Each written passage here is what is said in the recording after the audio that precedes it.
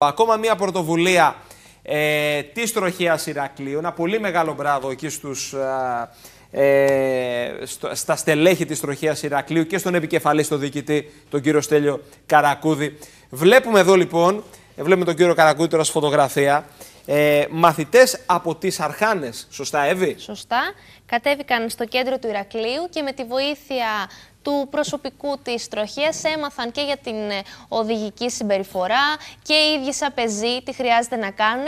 Χρήσιμες πληροφορίες που όσο πιο νωρίς τις μάθουν τόσο πιο εύκολα θα τις ε, απομνημονεύσουν και θα τις αξιοποιήσουν καθημερινά στη ζωή τους. Μιλούσα με ένα φίλο το προηγούμενο διάστημα και μου είπε ε, σοβαρά ότι είμαστε από τις πόλεις της Ελλάδας όπου βλέπουμε αστυνομικό της τροχίας και πραγματικά χαμογελάμε.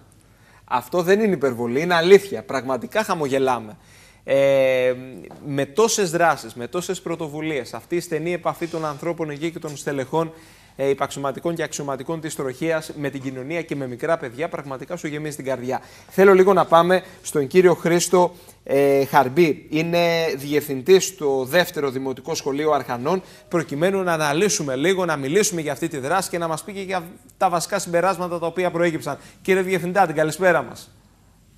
Καλησπέρα από τις όμορφες Αρχάνες. Από τις ξεχωριστές ε, Αρχάνες. Φαντάζομαι πέφτει και ο υδράργυρος, σωστά, όσο από απόγευμα προς βράδυ. Αρκετά. Αρκετά. Είναι 12 βαθμούς. Η ιδιαιτερότητα ε, τουλάχιστον 3-4 βαθμοί κάτω από το, από το Ηράκλειο οι Αρχάνες. Λοιπόν, για να μας πείτε ε, για αυτή την ξεχωριστή πρωτοβουλία, πολλά τα ωφέλη, πολλά τα κέρδη τα οποία προκύπτουν με τη συναναστροφή των αστυνομικών με τα παιδιά. Ναι. Σήμερα είχαμε τη χαρά και την τιμή να συμμετάσχουμε σε ένα πρόγραμμα της Τροχέας Ηρακλείου και το αξιέπαινο διοικητή της κ. Στέλιου Καρακούδη. Η πέμπτη και η έκτη τάξη του σχολείου μας, με τους δασκάλους και την καθοδήγηση πάντα της Τροχέας, περιηγήθηκαν στην πόλη του Ηρακλείου, εντόπισαν διαβάσεις αμαία και θέσεις στάθμευσης των αγαπημένων συμπολιτών μας. Με βιωματικό τρόπο διαπίστωσαν τις δυσκολίες και τα προβλήματα που αντιμετωπίζουν στην καθημερινότητά τους, καθώς και τον βαθμό αποδοχής και σεβασμού των αναφέρετων δικαιωμάτων τους. Ένα μεγάλο ποσοστό σέβεται τα δικαιώματα αυτά, αλλά δυστυχώς όχι σε απόλυτο βαθμό, που είναι και το ζητούμενο, δηλαδή το αυτονόητο.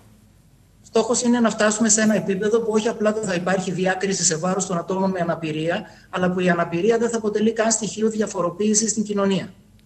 Πρέπει να δημιουργούμε συνεχώς τις προποθέσει για να διασφαλίσουμε την ισότιμη πρόσβαση των συμπολιτών μας στην κοινωνία και στην αγορά εργασίας. Είναι πάρα πολύ βασικό να στηριχτούμε, να βασιστούμε, να επενδύσουμε στη νέα γενιά και πολύ καλά κάνετε κύριε Χαρμπή και το αναφέρετε καθώς ε, το σκηνικό το οποίο διαμορφώνεται στους δρόμους της Κρήτης μόνο αισιοδοξία δεν, δεν γεννά και αναφέρουμε στα πολλά τροχαία έτσι, ε, συμβάντα ε, και στο εθνικό και στο επαρχιακό δικό δίκτυο. Οπότε τι πρέπει να κάνουμε, να ξεκινήσουμε και να επενδύσουμε από αυτές τις ηλικίες, προκειμένου αύριο μεθαύριο ε, η νέα γενιά, οι άνθρωποι που θα πιάσουν τιμόνι στα χέρια τους, ε, να ξέρουν τα βασικά και συνήθως να έχουν τις ευαισθησίες που χρειάζεται όταν βγαίνουμε στους δρόμους. Ακριβώς, ακριβώς. Πρέπει να αναδιομορφωθεί η οδική παιδεία, η κουλτούρα και η συνείδηση προκειμένου. Είστε αισιόδοξος. Είστε αισιόδοξος. Είμαι, αλλήμον αν δεν ήμουν. Είμαι. Πιστεύω τα παιδιά ευαισθητοποιήθηκαν και θα διαμορφώσουν μια σωστή κουλτούρα στάσεων και συμπεριφορών.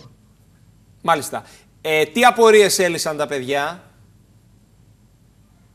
Ε, απορίες για τα, πώς κινούνται τα άτομα, οι δυσκολίες που αντιμετωπίζουν, όλα αυτά έγιναν με βιωματικό τρόπο και αυτά είναι που καταγράφονται μέσα στο υποσυνείδητό τους, με αποτέλεσμα ότι όταν μεγαλώσουν σαν αυριανοί πολίτες να σέβονται απόλυτα τα δικαιώματα των ανθρώπων αυτών. Μάλιστα.